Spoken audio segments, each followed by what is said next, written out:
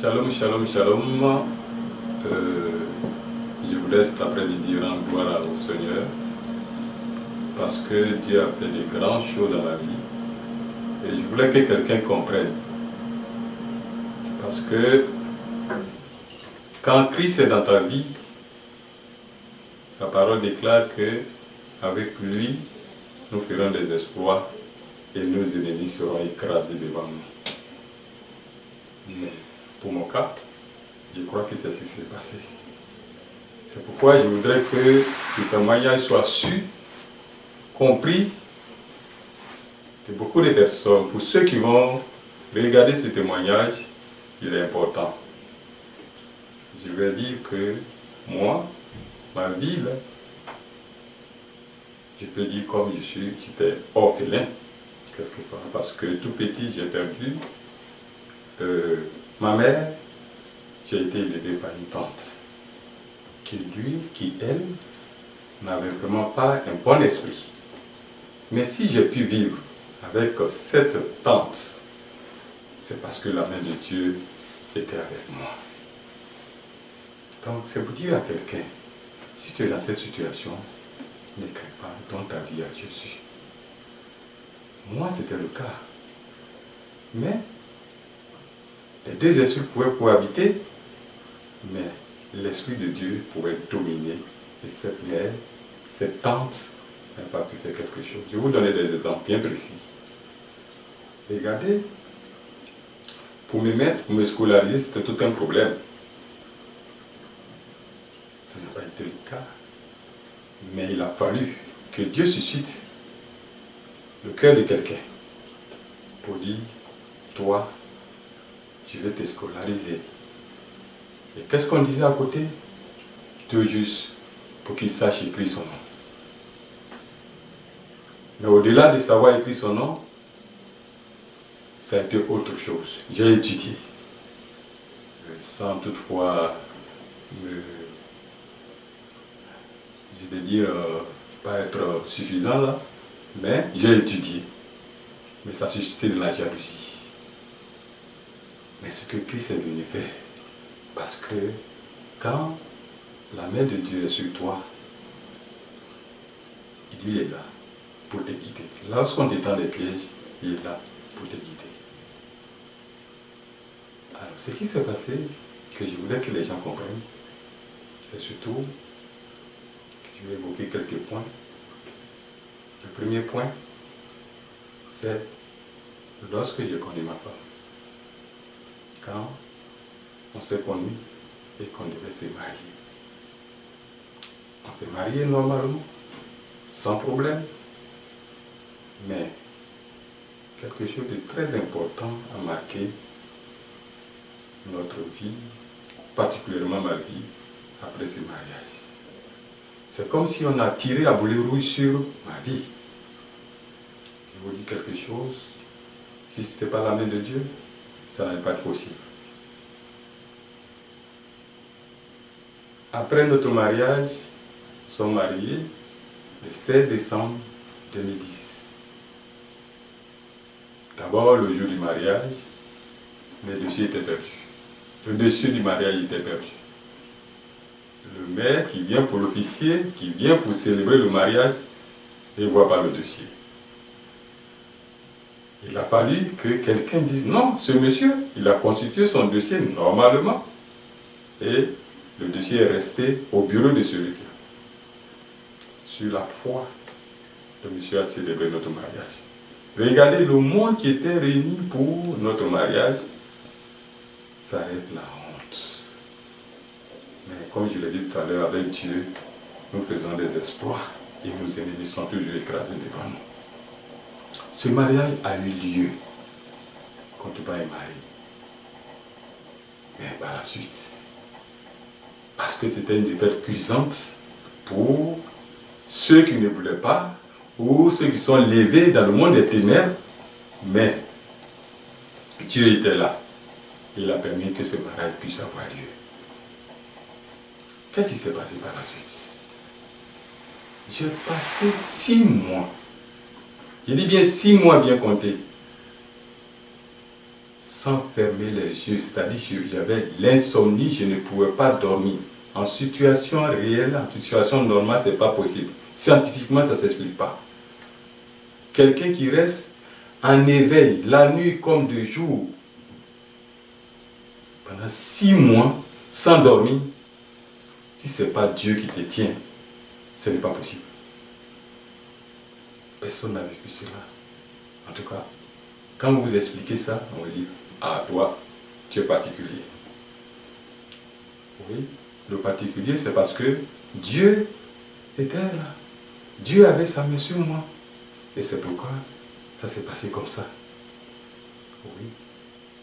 Et c'est encore ce même Dieu, c'est ma même épouse, qui, au moment où je suis là, il était lavé les yeux hagards comme ça.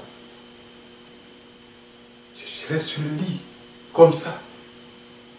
Je peux aller au travail, oui, mais je ne peux pas dormir. Ça ne s'explique pas. C'est comme un mystère.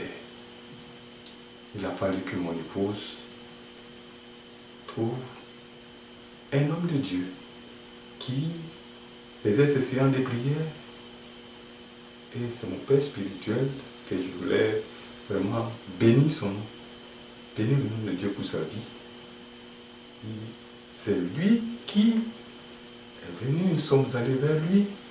Il était en train de faire une séance de prière. Et il est venu. Il dit, ah, quand il a vu la situation, il a dit, oh, mais je vais prier pour toi. il, il, a, il a arrêté tout, tout ce qu'il était en train de faire à l'église, lorsque nous l'avons trouvé.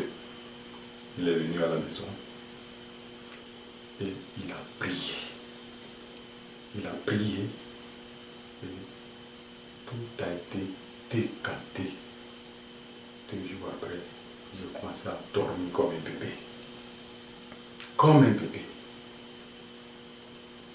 C'est pour dire que Dieu, quand tu donnes ta vie à Dieu et que tu lui confies, quand il a sa main sur toi, ta destinée va s'accomplir. Ça, c'est un fait majeur que je voudrais vraiment que tout le monde sache. Dans cette situation, si ce n'était pas Dieu, si je n'ai pas crié à Dieu, ça n'est pas possible. Et je continue de louer ce Dieu. Parce que c'est lui qui tient notre vie. À trois, on peut prier, à quatre, on peut prier, mais la dernière personne, lorsque nous avons épuisé toutes nos stratégies de prière ou autres, lui, il est toujours là. Ce Dieu-là, je voulais qu'il soit vraiment glorifié, qu'il soit magnifié. C'est un peu là. Et je voudrais que chacun de vous, pour ceux qui vont écouter ce témoignage, qui vont regarder, s'ils sont dans cette situation, une situation quelconque qui ne désespère pas. Moi, la persécution, je n'en fais pas un tollé. Je n'en fais pas, ça peut arriver. Mais quand ça arrive, j'ai vu pire que ça. Si ce Dieu-là a pu permettre que la situation soit décantée et qu'il a toujours sa main sur moi, je crois toujours, je continue de croire en ce Dieu vivant.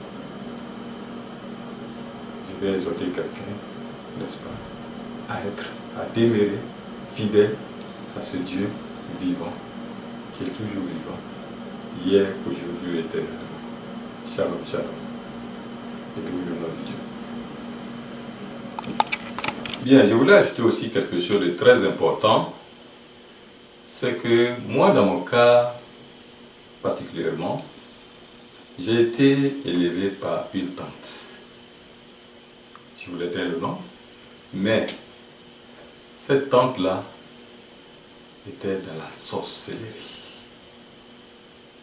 Mais la main de Dieu était sur moi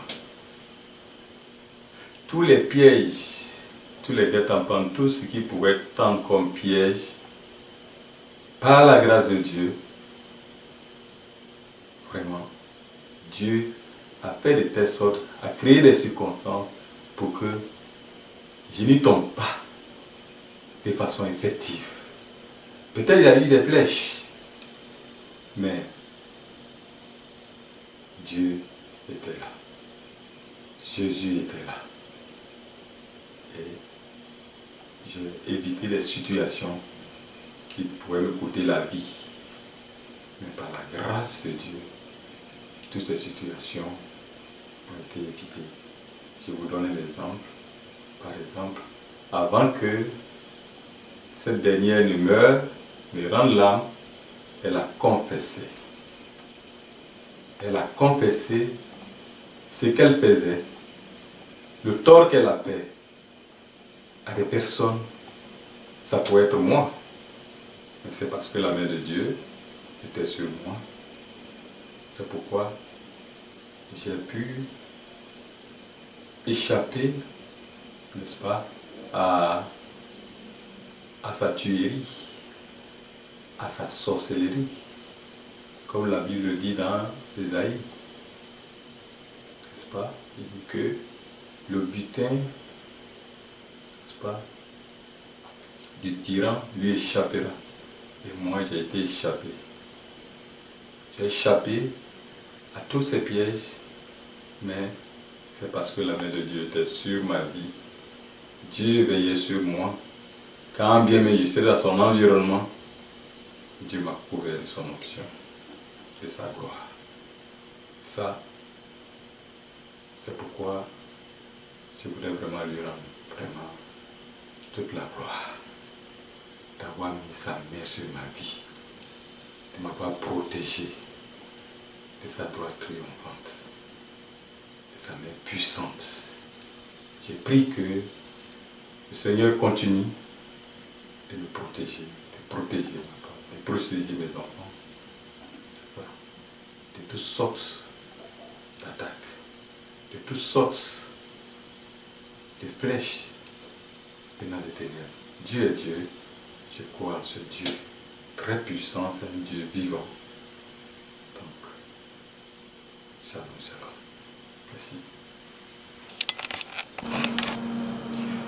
Et ce Dieu-là, dont je parlais, c'est ce Dieu que j'ai connu à travers son Fils Jésus-Christ, qui lui est mort à la croix pour mes péchés, qui m'a justifié et qui m'a rapproché beaucoup plus de lui. La Bible déclare que euh, le chemin, c'est Jésus-Christ. Et je voudrais vraiment que ce Fils Jésus-Christ qui est venu pour nous sauver, moi, il m'a sauvé. Il m'a sauvé, comme je viens de le dire tantôt, dans tout ce que j'ai connu comme situation, circonstance, Jésus était là. C'est celui qui n'abandonne pas, qui est toujours présent. Et je voudrais encore remercier. Je dis merci. Merci de tout cœur, de toute sa bonté, de ce qui m'a justifié,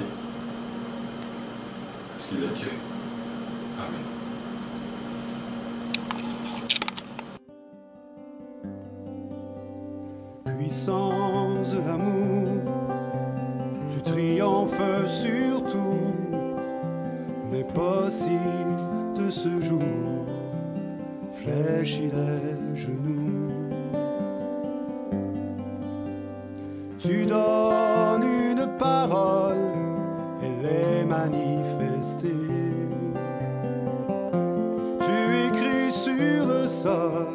Les pierres sont relâchées.